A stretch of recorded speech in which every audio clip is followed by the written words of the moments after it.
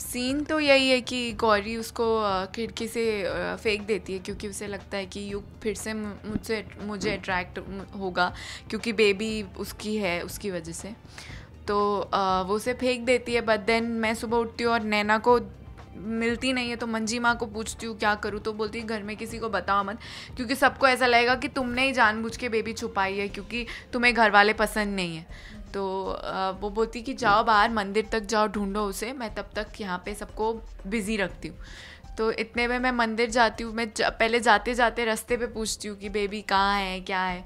उसके बाद आगे जाके मैं आ, रोने लगती हूँ और भगवान से पूछती हूँ कि कहाँ पे है मेरी बेटी? तो उसका उसका निप्पल गिर जाता है मेरे झोली में और फिर उसकी आवाज़ आती है तो मुझे पता चलता है कि वो ट्रक में है।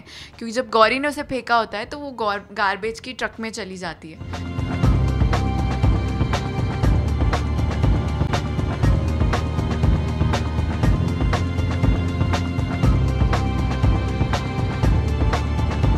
मैं उस ट्रक का पीछा करती हूँ पर एक बस आ जाती है एंड मेरा एक्सीडेंट होते होते बच जाता है और फिर मैं देखती हूँ कि ट्रक कहाँ चली गई। फिर मैं भागती हूँ तो वो बच्ची किन्नर किन्नर के पास चली जाती है।